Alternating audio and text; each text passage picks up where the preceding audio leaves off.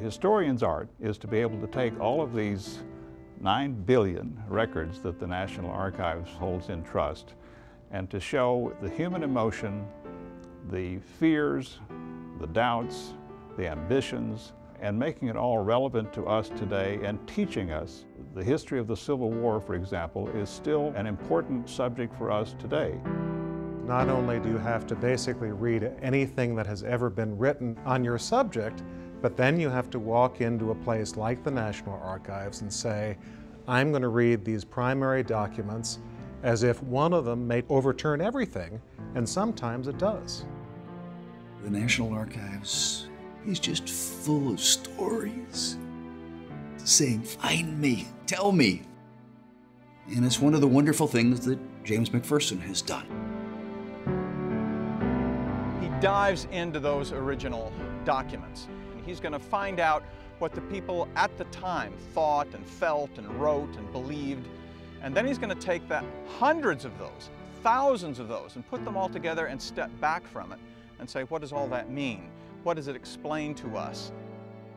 Amazingly enough to people these days, it was not so long ago that a lot of Americans and a lot of American scholars were not that interested in the Civil War. Then comes James McPherson, who through his writings has attracted both scholars and a huge American readership to understand how important the Civil War really was to our experience.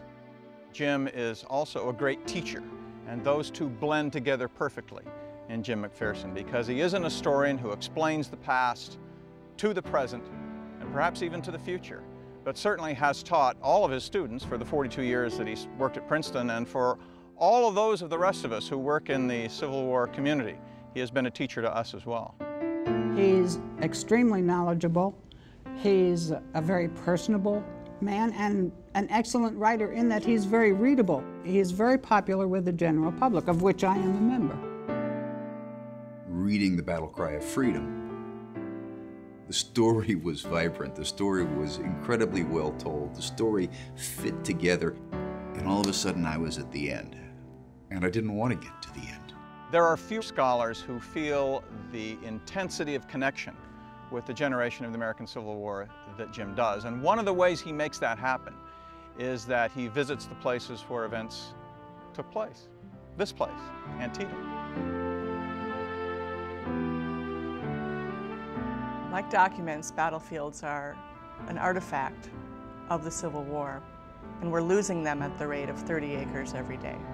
One way of letting the public know how important those battlefields are is to encourage them to learn about the Civil War.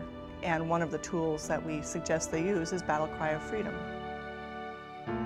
Jim is very serious about battlefield preservation. I think he's serious about it because he believes that if you can walk the ground where events took place, those events come closer to the current generation.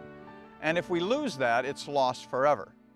Crossroads of Freedom has always given me a, a, much greater understanding of how Antietam fits into the larger context of the war. And that's what's so valuable is putting it in context instead of just looking at an individual brigade and where they marched. You know, how did that fit into the picture of the nation as a whole?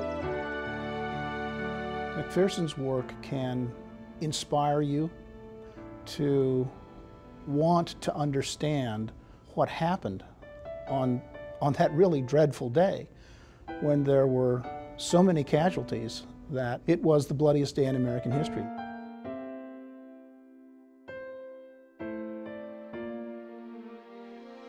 The works of Professor McPherson really helped the place come alive and, and enable me to give people a, a, better understanding of the, of the feelings and, and reasons why these men fought here and, and lined up shoulder to shoulder. Those words give the battlefield a life.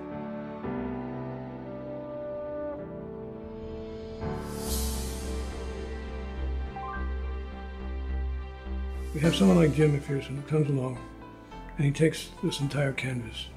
He basically creates important, enormous volumes on the Civil War era, in which he deals with political history, deals with the history of slavery, the history of the freedmen, he deals with social and economic conflicts.